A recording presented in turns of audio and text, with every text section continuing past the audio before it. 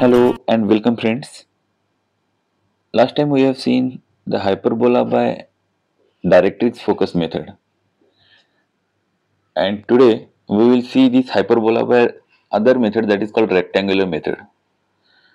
Now as per the problem, we are supposed to draw a hyperbola passing through point P and point P is given 40 mm away from the asymptotes that is what axis, x axis and y axis.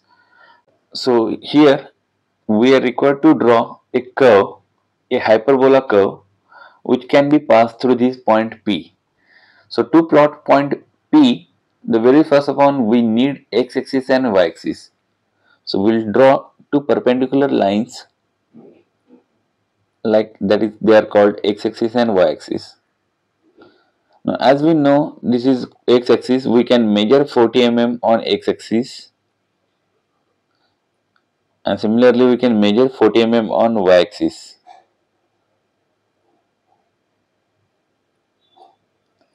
Now with the help of this measurement on x axis and y axis we can locate point P easily which is 40 mm away from x axis and 40 mm away from y axis. So here we get point P through which the hyperbola curve can pass. Now to draw a hyperbola curve passing through point P, we will divide this vertical and horizontal line from point P over x axis and y axis into equal number of parts. As the vertical line from point P over x axis is already 40 mm so we can divide this line into four equal parts as well. So I'll divide this line into four equal parts. Similarly the horizontal line drawn over y-axis that can also be divided into four equal parts. Right?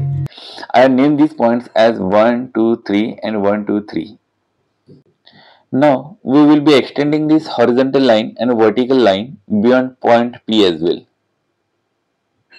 So very first of all I am going to draw a line joining point 0 and point 1 on vertical line and we will be extending that line till it crosses that horizontal line.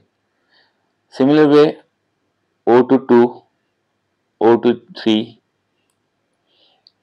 till it crosses the extended line the way we uh, drawn the lines from O to 1 similarly we will draw another line O to 1 on horizontal line now and that line will extend till it crosses that vertical line beyond point P.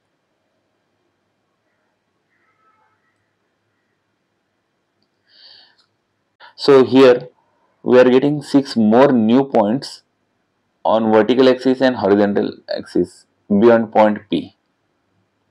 We'll name these points 1 dash, 2 dash and 3 dash and on that vertical line 1 dash, 2 dash and 3 dash.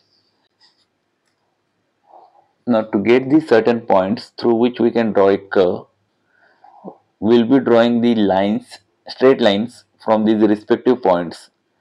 We'll draw vertical lines from these respective points like from 1 dash, 2 dash and 3 dash. Similarly, we have other three points 1 2 3 so we, from those three respective points we will draw horizontal line towards the right. And wherever these three lines will meet that previous three one we get three more new points here. The way we constructed the vertical line and horizontal line from 1 dash and 1 2 dash and 2 3 dash, uh, 3 dash and 3 we'll draw similar lines on left hand side as well on left hand side horizontal line 1 2 3 we will draw straight vertical lines there. And then from 1 dash 2 dash and 3 dash we will start drawing horizontal line towards the left. Now wherever these lines will meet we get again three more new points. And this way we get the locus through which we can draw a curve.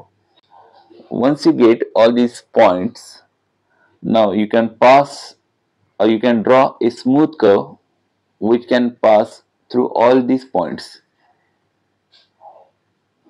and this curve is called a hyperbola.